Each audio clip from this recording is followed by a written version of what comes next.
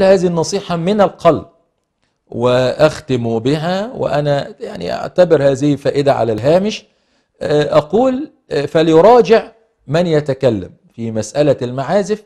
كلام أهل العلم في هذا الباب قبل أن ينقل وقبل أن يكتفي وقبل أن يخرج على الناس ويقول الغناء المعازف لا شيء فيها والغناء إن كان بضوابط كما قال لي بعض الشباب قال إن كان بضوابط قلت ما الضوابط؟